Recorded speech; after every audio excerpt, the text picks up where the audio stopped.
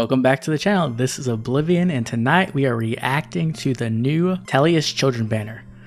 Now, I'm very nervous. There's a chance we get Duo Ike here, and to be honest, I don't really like the idea of Duo Ike being a kid version, but at the same time, it depends, I guess, who he's with. Like, I don't think it's gonna be Soren just because we saw the silhouette, so it could be like Mist, or I don't know, like Elincia or something like that. If I could have any combination I wanted, though, it would absolutely be Greil and Ike. That would just be phenomenal. When it comes to the actual unit itself, I would actually prefer if like Ike did a Ephraim where he is kind of in the background, right? So like maybe it's a duo mist, but Ike's in the background. So that way we can get future Ike later on, like on a pirate banner possibly. That would be amazing. The other thing that I'm definitely considering is what they do with him, right? Is he going to be another red sword? We have so many red sword Ikes. I'm kind of nervous about that. Even like we have a green axe Ike, and that's pretty much it. So I would love to have something different. That would be absolutely amazing.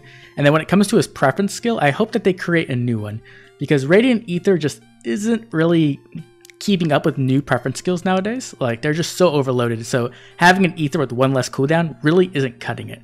Even if they give Radiant Aether 2 from Legendary Ike, I still don't think it would be the best. It might be okay, I'm not sure. I'm just hoping that they, they can give, you know, if it is Duo Ike, I hope they do him justice essentially. Uh, the for the other units on the banner, I'm really hoping that we can get like Boyd maybe. Boyd would be really cool just because he'd finally be in the game. Uh, Elincia would be really cute. Nephenee would be amazing, but I don't really expect that. I kind of expect like Mist, Soren, obviously Mia because she was one uh, one of the silhouettes, and then something like that, some kind of arrangement like that. So I don't really expect to see Nephenee at all, unfortunately. Anyways, I, th I, think I've ranted enough. Hopefully we get something good here. Let's go ahead and jump into the reaction. Oh man, I'm, I'm scared that I'm gonna like uh, be spending hundreds of orbs here, if not thousands. Here we go.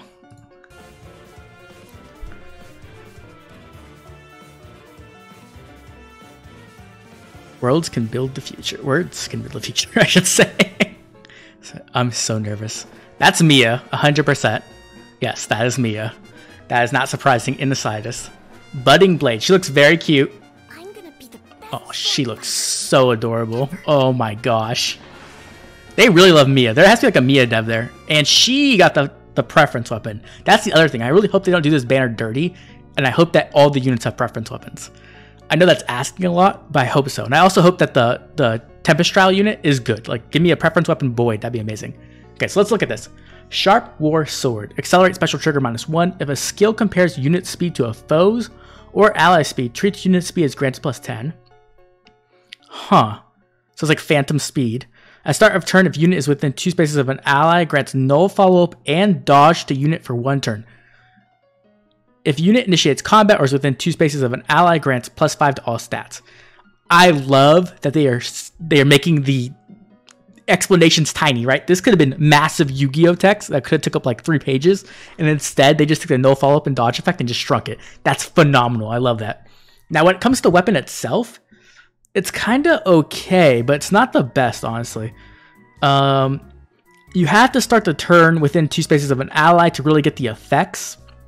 NFU and dodge is amazing though. Like that's really powerful, but you have to be very careful to make sure you're always within two spaces because if you don't have NFU and dodge, this weapon essentially becomes plus $5 stats, which is not great. Phantom speed is interesting because it makes it very difficult to like outspeed her obviously, which means dodge is going to be amazing. Null follow-up is better with speed, absolutely. Uh, what other effects? I guess, yeah, mostly that because it doesn't actually, uh, it's just if a skill compares, it's not actual speed, so it's not going to affect doubles but it will affect Flashing Blade. So Flashing Blade 4 is there, that's going to help. And then she has a new B skill, Speed and Defense Tempo 3. Inflicts speed and defense minus 3 on foe and neutralizes effects that grant special cooldown charge plus X or... Oh, there it is. So that's the guard effect we've had, right? Like the anti-guard effect we've seen on units like um, female leg legendary female Byleth and like and Brave Eirika, right? So that is interesting. I knew that was going to become a skill eventually, and now that is there. So overall, this Mia can have dodge, no follow up, plus 5 to all stats, special acceleration, and anti guard. It's pretty cool. Special cooldown count minus 1, 2. Okay, let's keep going. We'll, we'll check this out more later. But she does look pretty decent. I don't think she's. I think she's going to be good, but I don't know if she's going to be like ultimate top tier.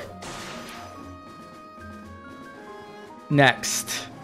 There's Soren. Oh my gosh. His art. What the? Like, they like took the lines out of his art Like on his face, look at that. It looks so good. Oh my gosh, this looks amazing. Cup. Oh, it made him not be able to talk like an... He can't understand though in the game. He just can't talk well. So that's interesting. And he's colorless tome. Ooh, please preference weapon. There's a preference weapon. And Time's Pulse and Mere impact. That's some good fodder, but I, I don't think I'd ever sack him. Probably. Adroit War Tome. Accelerate special trigger minus one. So far, they both have that. Uh, at start of combat, if unit's HP is greater than 25%, attack and res plus 6 to unit during combat, and the following effects will occur based on the value of unit's res minus foe's res. So he's to have to have high resistance then. If resistance is greater than 1, or greater than or equal to 1, unit makes a guaranteed follow-up attack. Does that mean he's going to be slow? That's interesting. Uh, if greater than 5, if foe uses sword, lance, axe, bow, dagger, beast damage, Holy crap. So that's like pretty much wind sweep, right? Yes. Yes. Foe can't counterattack. That's really strong. If greater than 10, reduces the percentage of foe's non-special, reduces damage by X skills by 50%. Whoo! This is a good sword. Holy crap. So like you obviously run, what do you run here in this B slot? Like a lull maybe? Oh man, so he can like essentially go in. He can like smack them super hard twice. He has accelerated special cooldown and Time's Pulse, so he can like instant Ruptured Sky, so on, and just completely blow them up. And then they can't counterattack as well. As long as his resistance is higher, which is very interesting because usually that's speed, right? But speed is such a prominent stat in the meta right now that it's pretty um, easy to outspeed units like like even premier units if you invest enough and if you support them enough, it's pretty easy to outspeed them, right? So resistance is actually much more difficult and less frequent, which means he'll probably get that most of the time. Which means he'll not only be able to get the guaranteed follow-up attack if they're not using NFU, but he'll also get to hit them twice without them being able to retaliate. Which the first hit will be special. And then lastly, that damage reduction um, by 50%. So that's like lifts effect, duo lifts effect. So that's very, very powerful. Oh man, this unit's actually, so far this banner is looking pretty good. I bet Soren fans are pretty happy. He does look so sad though. He's so dirty. Which, you know, is canonically correct, I guess. When he meets Ike, he's not in good shape. That looks like that's... What? No. Okay, I'll be honest. I'm super disappointed. Like, uh, I know there's Ilyana's a very popular character, but she already has, you know, two versions in the game. Why would you not put in Boyd or Oscar or Elincia or anyone. Why are you putting an Ilyana or Nephenee? Like Ilyana, really? Come on, man. She's already gotten enough, in my opinion. Ugh. She's the four star demote, right? Again, isn't she? Wasn't she already a four star demote? Wait, this is she a four star demote? She has low attack res. There's no way, right? They're giving away low attack res on a four star demote? That'd be insane. Uh, grants res plus 3 if foe initiates combat or foe's HP is greater than 75% of start combat. Attack and res minus 6 on foe during combat. And also, if units res greater than foe's res, reduces damage from attacks during combat and from area of effect specials. Okay. And also, if units res is greater than res plus foe, foe cannot make a follow-up attack. So essentially, she has uh, attack and res minus 6, damage reduction based off resistance, and then an impact effect in her weapon. Definitely very good. I'm just not a fan of Ilyana taking up that spot, considering that she's not really. There's better options if you want to do like a Greil's Mercenary Child banner, right? In my opinion, like why why isn't this Boyd? I'm uh, I'm honestly really disappointed with that. Or Elincia, dude. Elincia could have been amazing. That's a big Glacies. Holy crap. Here it is. Is it gonna be Mr. Ike? It's Ike. Okay, so we got Duo Ike, and he's a child. Uh, I'm gonna be honest, I'm not the biggest fan. The art is very, very adorable though. And oh, and he's a red sword again. I should just watch rest. I know, but I'm honestly like we have so many sword Ikes. I really wish that it was something different. This isn't for also, he's color sharing with Mia. Uh, uh, okay. I'm already seeing things I don't like, which is Radiant Aether. Like, his weapon's gonna be really, really, really, really busted in order to make up for that. Because Radiant Aether just is not a preference skill compared to other new ones nowadays. So let's look at Sturdy War Sword. Grants attack plus three. Okay, it's not cooldown reduction. That's already kind of iffy. Uh, at start of combat, if units HP greater than 25%, grants plus 5 to all stats to unit during combat. And if units attack triggers special, the following effects will occur based on the number of allies within four spaces of unit. Oh, I really don't like that either. Oh, oh god, I'm so dead. uh, if greater than one before unit's first attack, grants special cooldown count minus X. X equals 50% of unit's max special cooldown count, rounded down.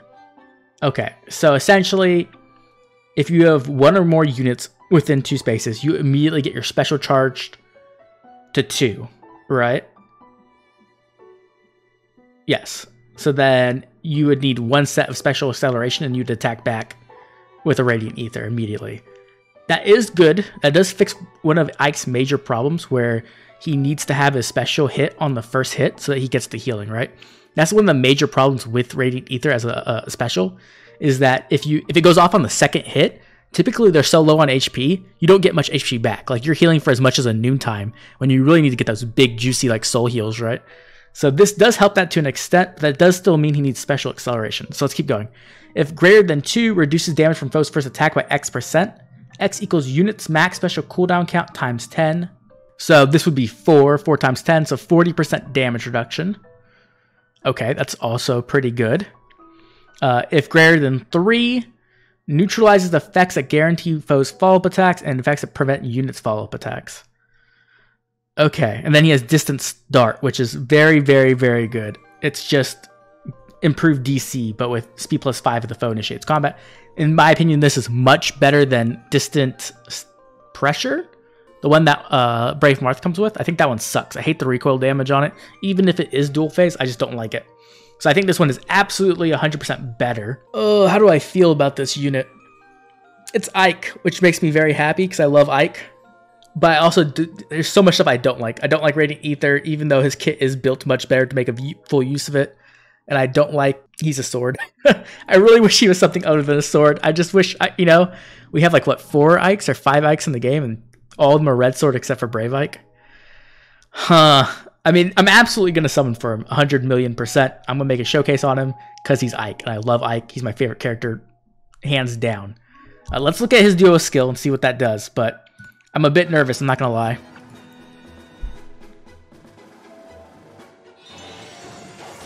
Sixty-seven times two. That's a that's a big hit. Let's see what it is. Oh, I see Ike. Oh, I see Greil and Titania, but I'm pretty sure that's base. That's Valentine's Greil, right? And yeah, normal Titania. Okay, dual skill inflicts attack and speed minus seven and guard on foes within five rows or five columns Center on unit through their next actions and inflict special cooldown count plus 2 on those foes. How good is this? I mean, obviously you're not using this in Aether Raids because it's... The only way you get to use duo skills in Raids is if it's a duo skill that is active, right? Like it's a like duo Korans or duo uh, or Harmonic Azure or something like that, right? Where you're killing the enemy duo unit or taking out the duo's hindrance and then you're activating it, right? With something like this, it's not going to be really possible because you're going to have to kill the duo unit or multiple duo units or the duo's hindrance before you can even activate this. So this isn't going to be doing much in Aether Raids in my opinion. In Summoner Duels though, how good is this? Attack and speed minus 7 is good. 5 rows and 5 columns is a large area. It's a very large area. Guard. Guard is pretty good as well. And then special cooldown count minus 2, or plus 2. Uh, does it affect if they have their special charged? I'd assume it does.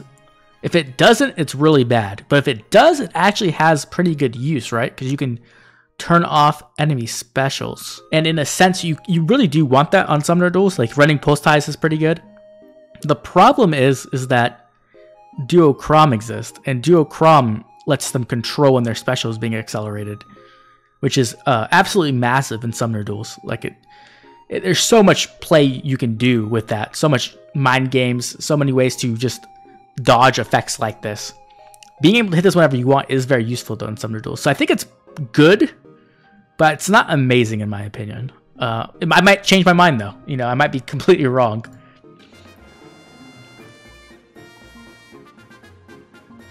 Ike and miss look very cute. Oh my god, that range is massive. That's bigger than I thought it was. Holy crap.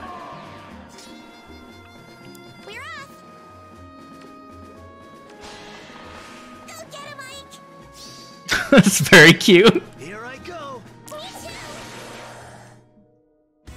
There's Mia. Who's in the background? There has to be someone in the background.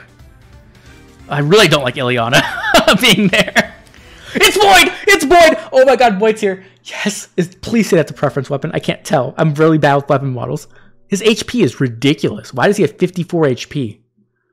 Oh, that makes me kind of nervous. But it's Boyd. Boyd's finally in the game. I, am going to plus 10 Boyd. I don't care. He's so good. Like, oh, yes. Yes. I have so many grails for Boyd. That's phenomenal. That's the best thing I've seen on this whole banner.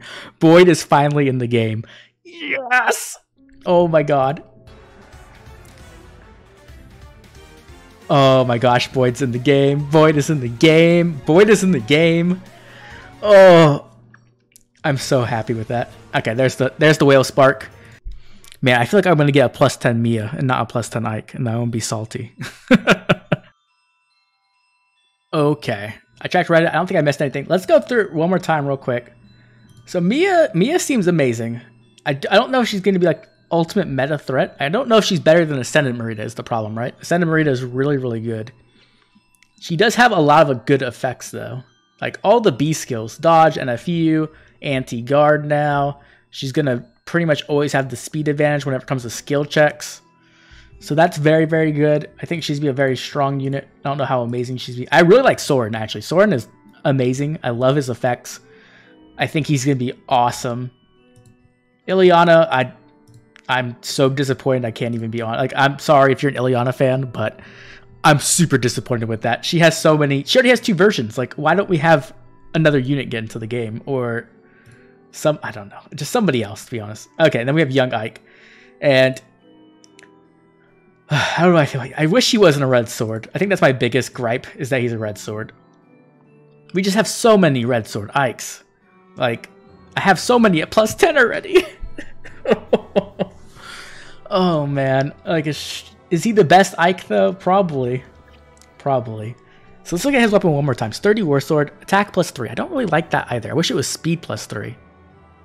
I think speed plus three would be better, or cooldown reduction. But then the cooldown reduction kind of works against this weapon, so maybe not. Speed plus, yeah, I think I would have had speed plus three. So plus five to all stats above 25% HP, and if units attack trigger special, the following effects based on blah blah. Okay.